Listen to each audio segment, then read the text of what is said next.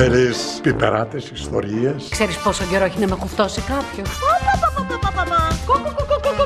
Μη σφίγγεσαι να κλάψεις, θα μολύσεις καμία. Την πέσει η γυναίκα μου. Τι; Σκέφτεται να τραγουδήσεις στη στέγη. Όπως τα γατιά. Επικίνδυνο. Κάντε το τουλάχιστον στον κήπο. Ναι, είναι ίδρυμα. Α, για το ίδρυμα μια χαρά είσαι. Μια παρεξήγηση θα το κάνουμε το θέμα. Ε, να αναγκάσω τώρα να σας διώξω από το σπίτι. Τώρα παίζεις ρόλο. Ποιος Παπαδόπουλος; Δεν φαντάζει τι σοκέπατα. Τετάρτη στις 9 το βράδυ και κάθε Τετάρτη και Πέμπτη στον Αντένα.